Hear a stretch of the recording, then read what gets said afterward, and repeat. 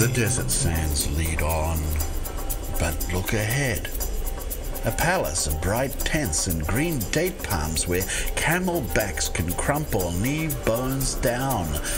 An oasis waits beneath the desert moon. Caravan.